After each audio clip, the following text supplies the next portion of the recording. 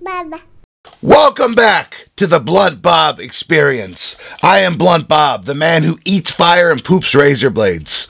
Today I have a very special guest, a good friend of mine, someone else who understands what it's like to um, be in pain for people's entertainment. Uh, podcaster, actor, wrestler, and uh, comedian Cory Kastle. Hello. Now, I was recently, if uh, none of you have checked it out, I was on Evolving with Cory Kastle, Cory's podcast. As you can see, the you know logo and everything for it behind him. Um, so I thought it's about time to have him on my show. So welcome to my world, Cory. Thanks for having me.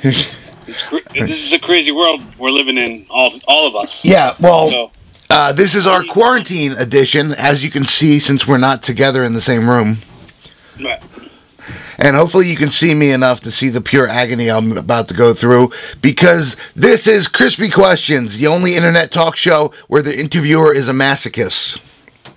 Now, the last the last time when I was on your podcast, we talked for 2 hours and 40 minutes. Now, this show where by the time we start we're already wrapping it up because I'm going to be in bad pain. So, go easy on me. I have all right. five questions written and then what i like to do is i like to ask five questions that i already have prepared and then have questions off the top of my mind when i'm like you know scrambled to see how bad they are all right uh, so i guess there's nothing we could do but get started so here's we have a poor connection of course with our luck we're gonna lose it but um so I don't don't don't don't rope me in with that. Don't rope me in with that. I hate when people do that. Don't do that. well we've we haven't had good luck with Your technology luck is your luck is what you make it. I don't think luck is a thing. I think you you Yeah. just got to be careful about your wording. yeah I think a lot of people fall victim to the oh, just my luck. I've fallen into this. Uh, oh, wow. It's you know, it's like oh, I've been, I've been oppressed by luck. You wind up be, becoming a victim to to superstition. So on the show, the Blunt Bob Experience, you are the star because you are the guest. But there's one other star, and that is the hot sauces. So we're gonna go through them real quick. So first up, we have uh, Gringo Bandito, which I think clocks in at about a hundred thousand Scovilles. Uh, I forgot to look this one up before we filmed, but it's actually created by Dexter Holland. Um, I hope I'm right about this because I know it's created by someone in the band Tool. Uh, this is their super hot sauce, the hottest one they make. It's the only one I've had. Um, and then we have Seven um, by Pepper Palace, who I bought through directly. Now I couldn't find the Scovilles on this one, but the pepper itself is about two million, I believe. So this should clock in about a million Scovilles. Um, so then we have spontaneous combustion, which is about 500,000 Scovilles, and it is mostly extract. Um, and I don't know if you know, extracts burn so much more than natural sauces. I don't know anything. Um, just so you know, the My com- roommate, the cook, and he's sit, he's standing next to me, and he's going, "Holy dude, holy."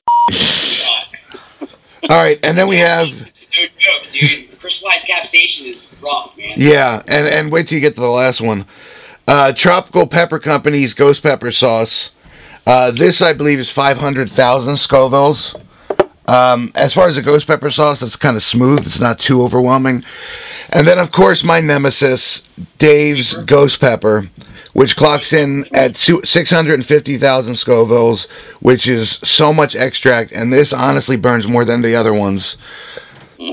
And this is the only sauce that is in every single episode because it kicks my ass.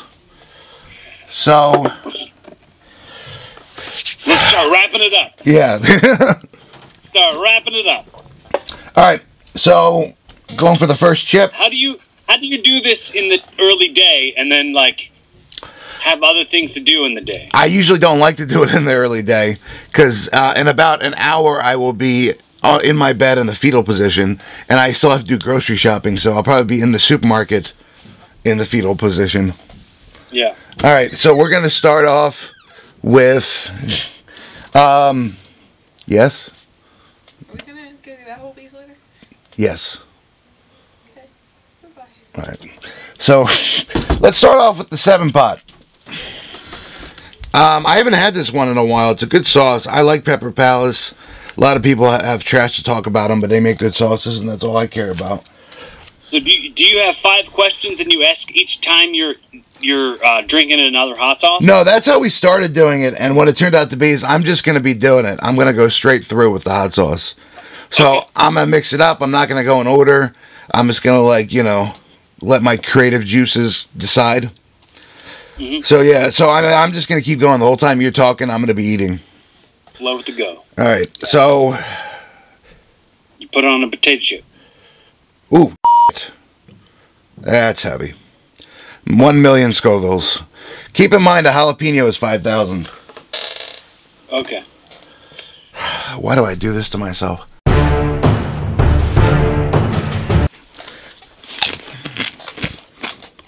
Chips are so stale. All right, so, wow. Already. Stale, so they're harder to chew. So, wrestling, acting, comedy, podcasts. How did that all happen in the order of events? Um. Oh, Well, I uh, I think that that's not good off the bat. wrestling came first. wrestling came first, um, and then and then uh, I always my dream, my two major dreams ever were to to be a wrestler and to do stand up comedy, and uh, I did. I just started doing open mics, and um, I found that comedy's more. It's like I get to I get to get the crowd reactions without getting without having to take my clothes off or get hit. So I like that more. So, what is your most memorable moments in all the things you've done? Um,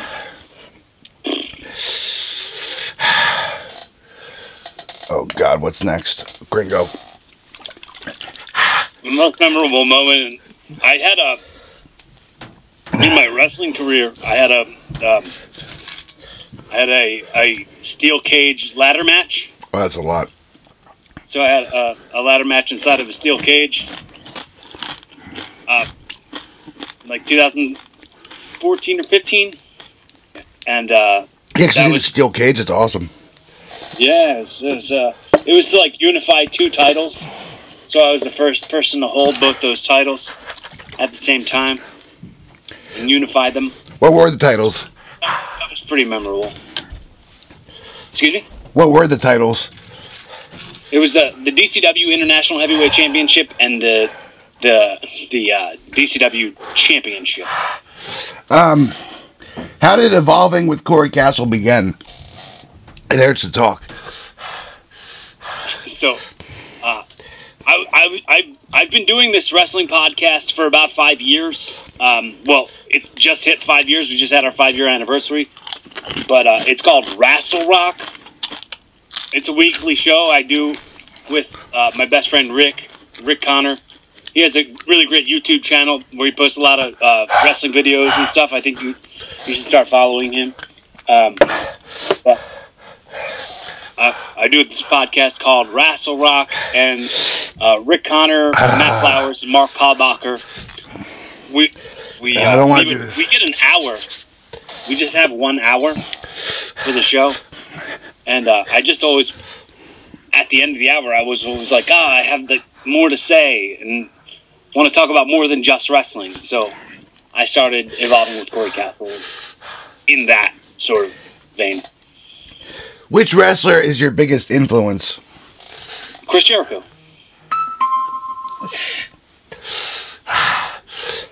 Chris Jericho. He's a pro wrestler, podcaster, Yeah. Actor.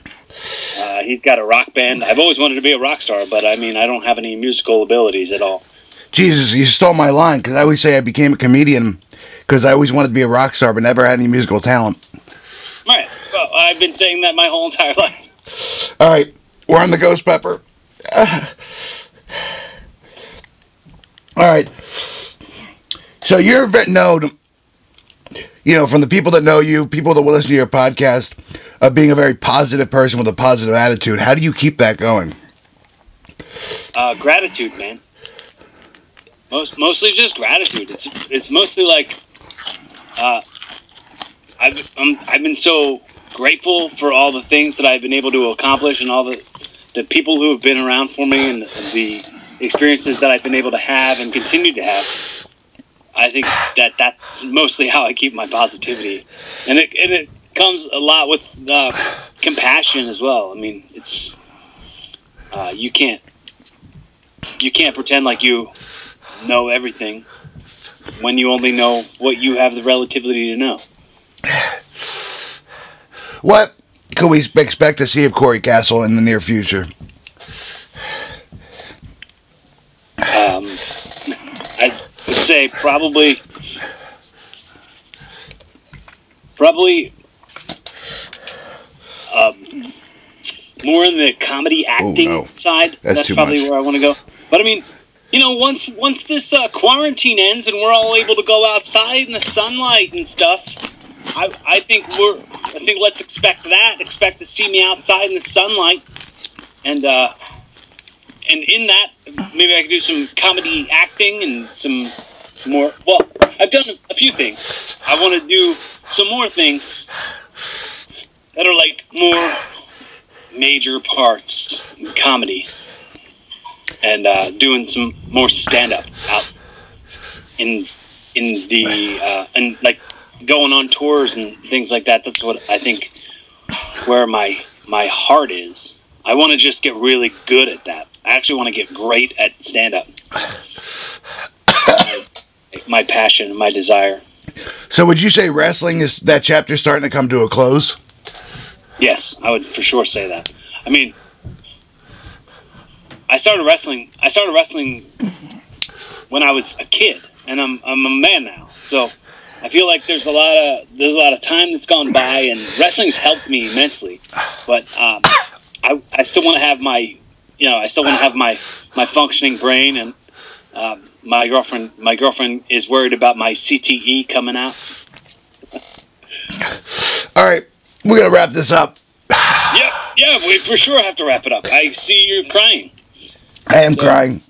Um, so, is there anything else you'd like the Blunt Bob universe to know? Um, I think that they know already that you're a lunatic, and uh, that I meant about you. about me. Okay. Uh, I'm I'm always open to to making new friends and chatting with new people, and you know if you want to get if you want to get in touch with me, if you feel like you got something on your mind that you want to talk about, judgment free conversation. I'm always here. Look look me up somehow. Follow me on Instagram at Cory Kastle. Uh, follow me on Twitter at Cory Kastle. Same thing, C O R Y K A S T L E. And uh, you know, I'm gonna uh, every Monday. If you subscribe to my podcast, you'll get a new episode of Evolving with Cory Kastle. Sometimes they, sometimes they go an hour. Sometimes they go three or four hours. It's, Yeah. it's all depending. But go through go through the the Rolodex of pre- past episodes, archived episodes. I have like 170, 172 episodes now. So go check them out on uh, iTunes and Spotify, wherever you find your quality podcasts that you enjoy. Yeah, check out Cory on all the stuff he just mentioned. And thank you to Cory for coming on. And we will see you guys later, hopefully outside. All right. Yeah. Be safe. Have fun. Oh, God, my eyes are burning.